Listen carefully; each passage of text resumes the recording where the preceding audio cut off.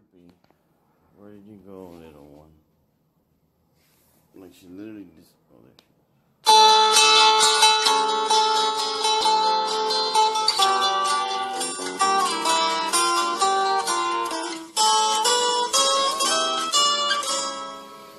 If Chirpy could save time in a bottle, first thing that she'd like to do is to save every day till eternity passes away, just to spend them with you.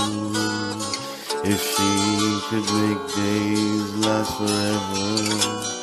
If words could make wishes come true, she saved every day like a treasure, and then again she would spend them with you.